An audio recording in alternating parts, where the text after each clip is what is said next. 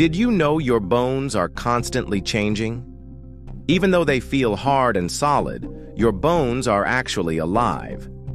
Inside your body, there's a continuous process called bone remodeling.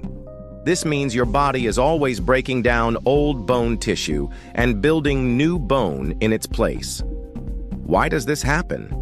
Remodeling helps keep your skeleton strong and healthy. It repairs tiny cracks that develop from everyday activities like walking or running, and it helps your body adapt to changes in weight or exercise.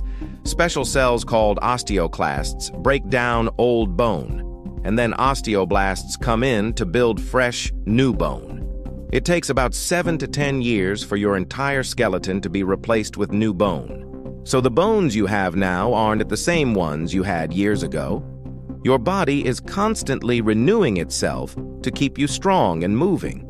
Pretty amazing, right? Your bones are living tissues working hard behind the scenes to support you every day.